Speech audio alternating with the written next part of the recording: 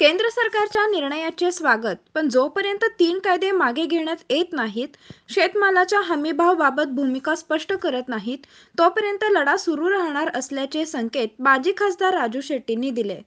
जर किमान वेतन कायदा होऊ शकतो तर हमीभाव कायदा का होऊ शकत नाही असा सवाल स्वाभिमानी शेतकरी संघटनेचे अध्यक्ष माजी खासदार राजू शेट्टी यांनी उपस्थित केला आहे. मराठी यस न्यूजसाठी कोल्हापूरहून संदीप अडसूळ.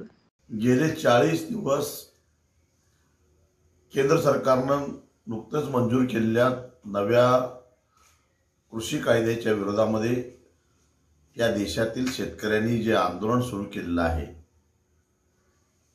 त्या आंदोलनाला पहिलं यश मिळालेलं आहे.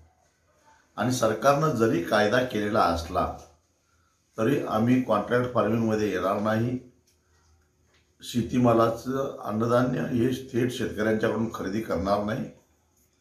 असं परिपत्रक रिलायन्सनं काढलेलं आहे. त्यांच्या भूमिकेचं आम्ही स्वागत करतो.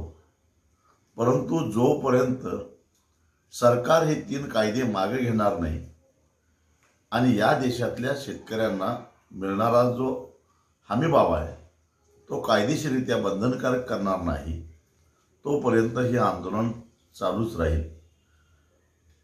रिलायन्सनं जरी म्हटलेलं असलं की खरेदीदार हमीभावाने खरेदी करतील. जोपर्यंत कायद्यामध्ये स्पष्ट तरतूद होत नाही तोपर्यंत अशी खरेदी होणं शक्य नाही. जर किमान वेतनाचा कायदा होऊ शकतो तर हमीभावाचा कायदा का होणे हाच खरा सवाल आहे.